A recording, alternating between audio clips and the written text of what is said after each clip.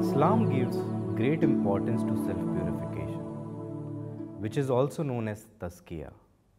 The Quran says, Paradise is for those who purify themselves. Traditionally, some things are considered to be the means of attaining tazkiyah, such as prayers, recitation of the religious text, meditation, taking lessons from the lives of the prophets or saints, etc. According to this approach, Tazkiyah is a fixed course or something to be learned from a manual.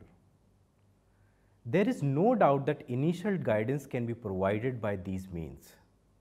However, taking it to completion is a task one must achieve oneself. Therefore, it would be appropriate to say that there is no fixed course of attaining such purification. It can be attained only through a conscious act. The real meaning of attaining tazkiyah is for man to reflect on the signs of God, activating his thinking and through continuous reflection discovering the deeper realities of things.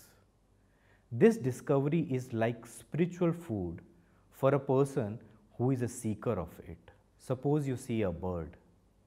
This reminds you of the saying of the Prophet of Islam that the hearts of the people of paradise will be like the hearts of the bird.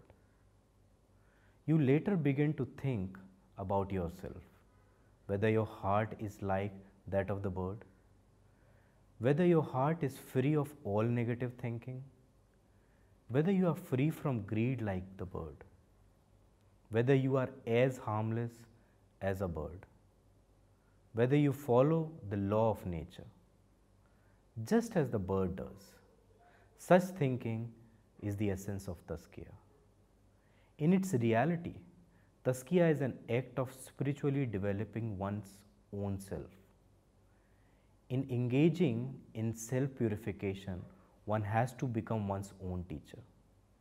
Sitting in the company of another or listening to someone else preaching cannot be sufficient for one who aspires to purification. In the process of attaining purification, if the share of other person is 1%, then one's own share is 99%.